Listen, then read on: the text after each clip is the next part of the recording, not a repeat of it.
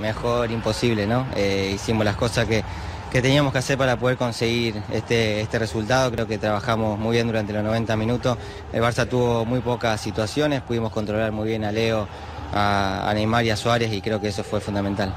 ¿Os ha sorprendido el nivel de hoy del Barça?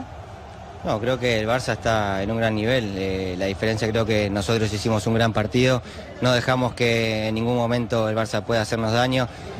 Tuvimos que correr bastante para poder lograr eso, pero creo que valió la pena. Sí, porque además habéis estado eh, todos bien, desde los conocidos como tú, como Berratti, como Rabiot, por incluso Kimpembe, ¿no? En, en defensa, que hoy debutaba en la Champions.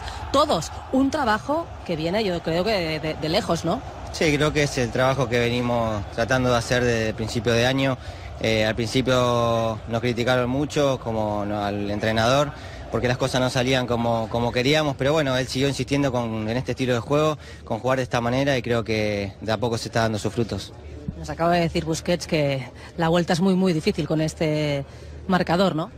No lo sé, creo que tiene jugadores para poder hacer más de cuatro goles de local. Eh, seguramente será un partido muy difícil, pero para nosotros poder pasar a cuartos tendremos que hacer lo mejor posible, como lo hicimos hoy, para poder lograr el objetivo. No te fías del Barça, ¿no? No, es imposible, es imposible fiarse de, de los mejores jugadores del mundo, de- del mejor equipo del mundo. Es, es difícil eh, poder fiarse de eso, así que hay que trabajar como, como lo hicimos hoy. ¿Te ha dado tiempo a hablar con Messi?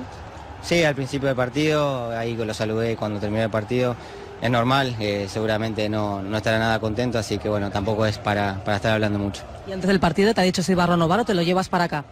No, no, me ha dicho feliz cumpleaños solamente, así que nada, no, no hable nada de eso. Eh, seguramente seguirá mucho tiempo más en, en Barcelona, creo que es su casa y está, está muy feliz ahí. Bueno, Patrick Kluivert me ha dicho que nunca digas nunca, ¿eh? No, nunca hay que decir nunca, pero creo que, que él está muy contento, de chiquito está ahí y creo que seguirá por muchos años más. La final soñada es así con el Madrid.